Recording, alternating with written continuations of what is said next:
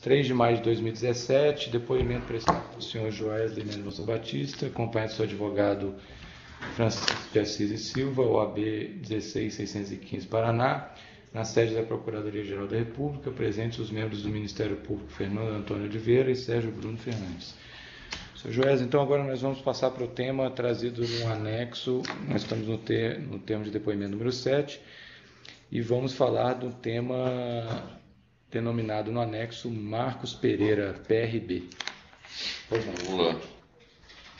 Então, o Marco eu conheci ele nas eleições de 2014, porque foi um dos partidos que o PT comprou e que nós fomos um dos que, que participamos. Né? Só um minutinho, eu vou intervalo.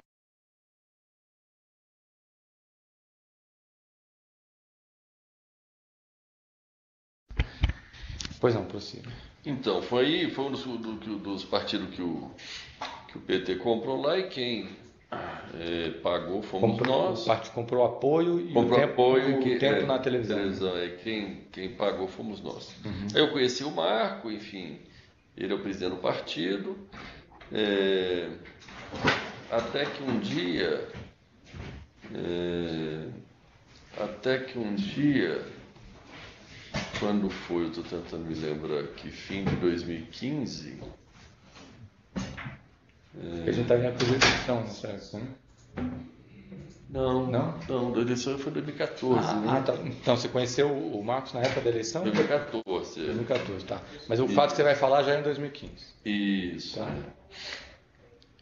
Então, aí até que fim de 2015, aquele empréstimo que eu te relatei do Lúcio, que foi o último que encerrou a. Sim. Ele foi todo conduzido na área técnica ali, normalmente, enfim. Eu nunca pedi nada, foi dentro da área técnica. Uhum. Onde o vice-presidente era Antônio Carlos e tal, sempre tive uma boa relação com o Antônio Carlos e tal. Ele nunca me pediu nada, enfim, tudo bem. Já na final, praticamente aprovando ali, liberando, Antônio Carlos me abordou e disse: Ué, você sabe que quem é meu padrinho político é o Marco do PRB, né? Não, eu sei, eu sabia disso. Uhum. Eu sei, mas e daí? Falou: Não, então a operação vai sair aí, vai dar certo e tal. Será que você teria como é, fazer uma contribuição para ele? Eu falei: Uai, fazer uma contribuição? Não sei, que contribuição, de quanto? Depende, né?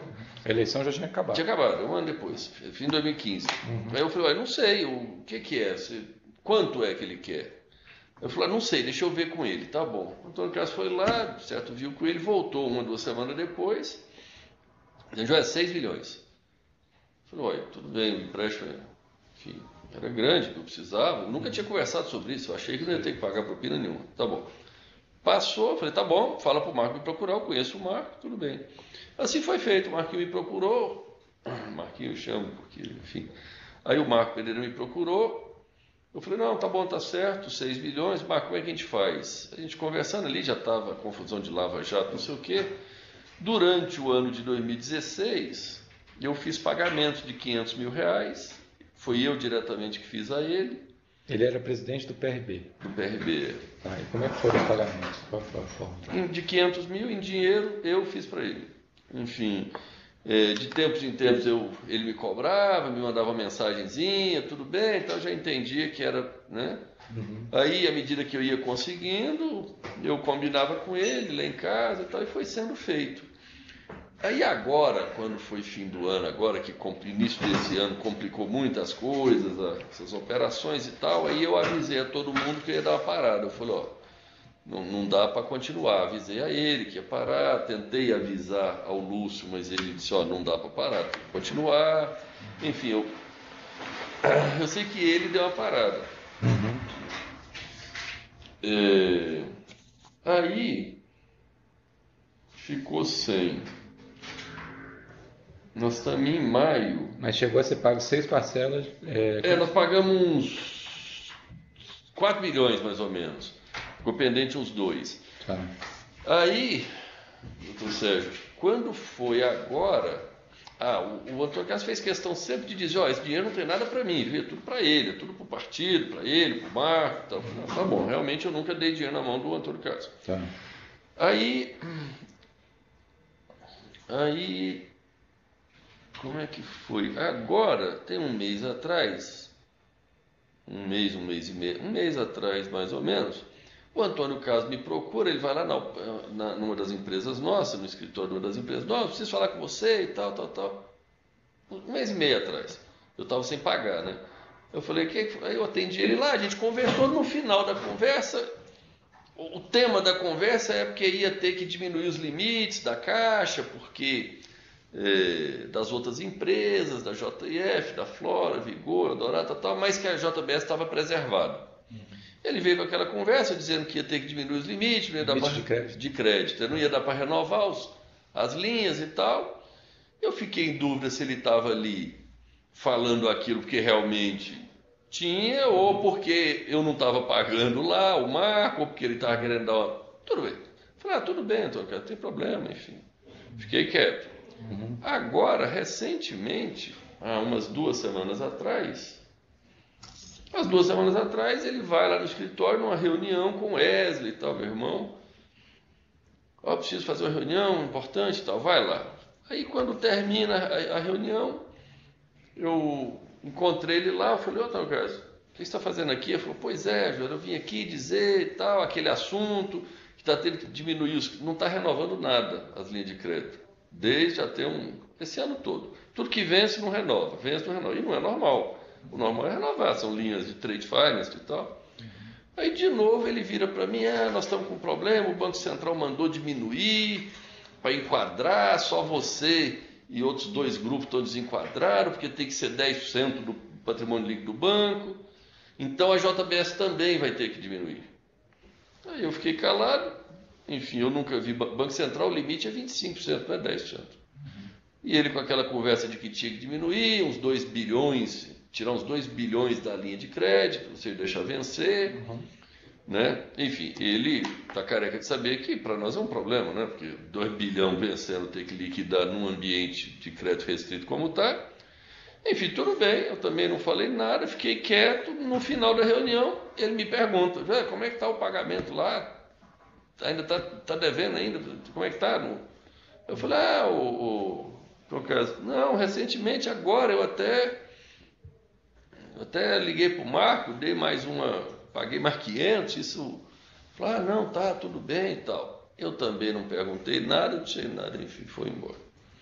Eu não sei se está diminuindo o limite porque estão querendo nova propina ou se estão querendo que paga.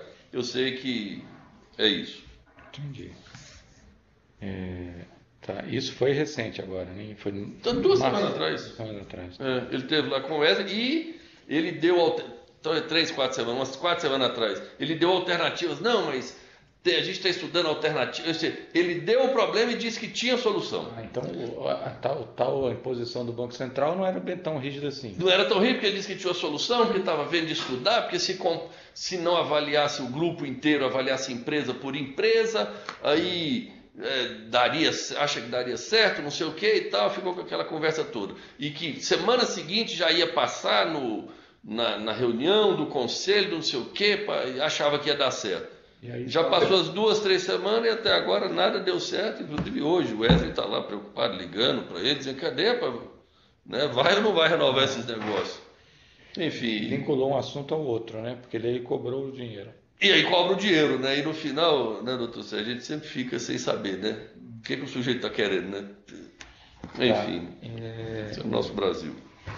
Em relação a esse tema, como é um tema recente que está é, acontecendo, seria, é muito importante deixar registrado que qualquer novidade o senhor informe a gente, já que o senhor é um colaborador uhum. agora. Qualquer é, uma das obrigações no acordo é o senhor se avisar ao Ministério Público sempre que for procurado por pessoas envolvidas nos anexos. Uhum. Né? Essa pessoa em especial, o Antônio Carlos, ele foi lá tratar, de, eu não sabia que ele ia lá, ele foi lá tratar do dia a dia do negócio dele lá do, do, banco e tal. Eu cruzei com ele e aí foi uma conversa de uns 10 minutos. Aí ele foi lá, eu não, não imaginava que ele ia falar do dinheiro. Uhum. Aí ele foi lá, me contou a história e no final, hora que ia sair, ele me perguntou desse negócio. Entendi. O mesmo vale para o Marcos Pereira, né? Você Lógico, com certeza. Não, eu estou bem consciente do acordo. Então vamos é, encerrando aqui o termo de colaboração número 7 é, prestado pelo senhor jo Joésia Batista, dia 3 de, Isso aqui vira? Vira de maio de 2017.